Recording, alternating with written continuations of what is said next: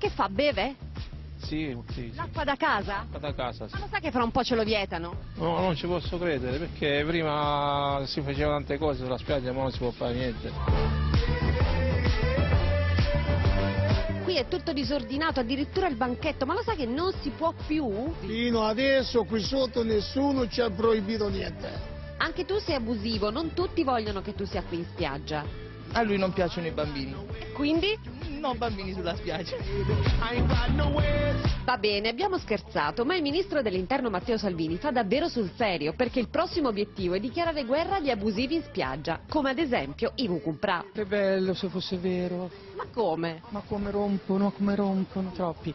E ne abbiamo contati nel giro di un'ora l'estate scorsa 35 lì dentro. Toglie lavoro alla gente che la vende onestamente, paga un mutuo, paga un affitto. Che mentre sei lì che ti riposi ti svegliano. Se vengono qui e vendono delle cose che, che poi gli servono per fare una vita migliore, per l'amor del cielo, non è... Non insistono, non disturbano. Hai acquistato qualcosa? Sì, qualcosa sì, per le bimbe, qualche braccio- Trattato sul prezzo? Sì, vabbè, qualche volta, sai, è tipico italiano. Tutti abbiamo diritto, insomma, ad avere la nostra possibilità. Si contratta sul prezzo? Sì. E i diretti interessati che ne pensano? Tu lavori in spiaggia? Sì, sì, Da sì. quanti anni? Sei anni. Che ne pensi? Però se, eh, dipende, no? se uno che non è regolare, bisogna mandare, capito? Siamo, sì, la verità siamo tanti. Io, anch'io vendo, non lo posso negare, però no, un altro modo, non così. Se tu sai che io sto vendendo, magari se tu entri e mi dici quanto costa, e allora possiamo fare il trattamento.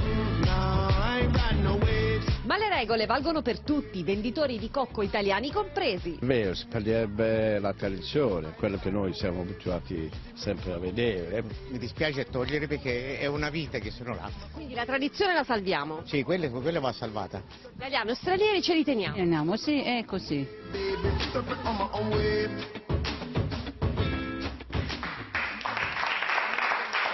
Senatrice Fedeli è bellissimo perché poi tra l'altro loro stessi dicono beh no ma io lo faccio in un certo modo, quell'altro lo No, fa però meno bene". cominciamo col dire che eh, le situazioni andrebbero regolarizzate tutte, punto, compresi gli italiani che passano sulla Eh, spiaggia e certo. vendono ghiaccio, ghiaccioli, acque e cose. no, Lo Poco dico perché fresco, poco vorrei bello, che, il pesce talvolta, no? vorrei, diciamo così, che la regola fosse per tutti. Se invece di nuovo E solo per i l'agganciamo solo per eh, gli stranieri o gli immigrati, a secondo di come li si vuole chiamare, guardate, lasciamo stare, perché a me- non è, io non sono è per serio. a di Secondo- andare a vendere la merce secondo, contraffatta, non è un problema di arriva- colore della no, pelle, fammi- il problema fammi è che quando- finire, sì, fammi finire, per anche carità. perché se tu Ma poi non permetti... stiamo parlando solo di merce No, contraffatta. ma il rischio arrivavo, grosso è quello, arri- eh, oh, arrivo Eh, a capito, questo. però stanno in allora, regola o non a stanno in regola? questo. Mi pare che dica la senatrice Siccome poniamo il tema che c'è. Chi c'è dietro a queste persone che vanno sulla spiaggia? Voi pensate che sono dei singoli? No, perché quando dieci anni fa ho iniziato ad occuparmi da sindacalista della contraffazione delle merci e di chi vendeva le merci contraffatte, la borsetta, cioè, che tutti compravano, ovviamente il tema lo abbiamo affrontato dicendo Chiaro che c'è anche quella persona che te lo vende sul marciapiede a Firenze o che passa sulla spiaggia a vendertela che è abusivo, irregolare. Ma chi li produce? Chi li manda in giro? Ecco, allora noi dobbiamo sapere che il tema è tutta la filiera e ci sono i committenti di E queste allora se persone. è controllo allora è che sia controllo su tutto, su tutti, eh, comune di Esatto. Cervia, provincia di Ravenna, arrivo, eh. sì. Eh, sindaco Luca Coffari è collegato con una via Skype, vediamo se funziona, sindaco ben trovato. Sì, buon pomeriggio. Allora, ehm, abusivismo sulle spiagge, Salvini dice basta, lei che ne pensa? Ma sicuramente diciamo, a livello nazionale il tema c'è, esiste, non solo in spiaggia e in, tutta- insomma, in tutte le, le città. Come si diceva prima... Lei l'ha eh, possiamo risolto come sulle sue spiagge? Perché so che lo ha risolto. Sì, noi diciamo l'abbiamo risolto in maniera con un progetto articolato, siamo passati dai blitz sulla spiaggia, quindi anche in maniera molto cruenta, ad un, processo, ad un progetto eh, coordinato dalle prefetture dove ci siamo divisi i compiti, forze dell'ordine eh, bonificano la, diciamo, a monte, quindi evitano che arrivino i prodotti anche ai centri e ai magazzini, la polizia municipale con 30 agenti stagionali eh, che assumiamo pattuglia costantemente la spiaggia, i nostri 9 km di costa, sia in divisa che in borghese. Ma soprattutto un aspetto importante, ci siamo tirati dalla nostra parte anche i turisti con un'azione eh, di, culturale, di sensibilizzazione, quindi abbiamo anche detto con i messaggi, mm. con anche una piccola sanzione educativa, gli abbiamo detto non comprate dagli abusivi, non finanziate l'illegalità e anche lo sfruttamento di queste persone, tutelate in Made in Italy e quindi insomma aiutateci Abusivi che fossero italiani o non italiani? Beh certo, assolutamente. Cioè no, abusivo noi... non va bene, punto, di qualunque questione... nazionalità sia.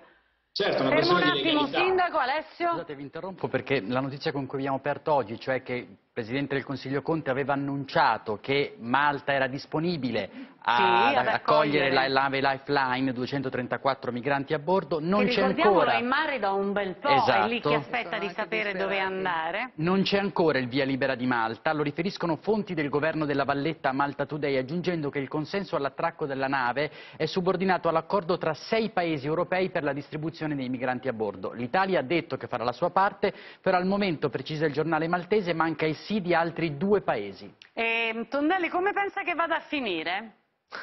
Nel Beh, gioco intanto- dell'oca, diciamo, dei migranti, che noi poi ogni, ogni giorno raccontiamo che forse si farà così, facciamo un giretto, poi torniamo alla casella di partenza. Intanto sarebbe bello sapere chi sono i paesi che hanno detto di sì Eh, e chi sono i due che hanno ancora stanno negoziando. Questo credo che sia uno dei punti chiave non solo del destino di questa nave e di queste povere 234 persone, ma il destino di tutte le navi che per tutta l'estate attraverseranno l'estate, perché questa è la partita politica che si sta, che si sta giocando. Il Ministro degli Interni a livello interno e il Ministro degli Interni anche come Ministro degli Esteri e delle politiche comunitarie in pectore, diciamo così. Credo proprio di sì. Allora, intanto ringrazio il sindaco di Cervia. Ho un'unica curiosità ancora, sindaco. Ma i bagnanti sono contenti di non avere più, diciamo, i venditori ambulanti in spiaggia? Perché poi Eh alzi beh. la mano chi non ha comprato almeno una volta una cosa in spiaggia. Prego. Beh, diciamo che sono arrivate molte lettere anche di ringraziamento e di apprezzamento, anche perché da noi purtroppo la spiaggia era veramente invasa da centinaia di venditori, quindi da una cosa quasi di folklore era diventato un vero problema, un problema. Mm. Quindi alla fine insomma sono contenti, lei Sì, ce lo molto, assicura. molto, Ah, assolutamente. mando una telecamera a Cervia, guardi come sono fatta. Noi la aspettiamo, Grazie sindaco, grazie per essere stato con noi. Grazie per essere stati con noi, ci Grazie. vediamo domani, grazie a tutti gli ospiti.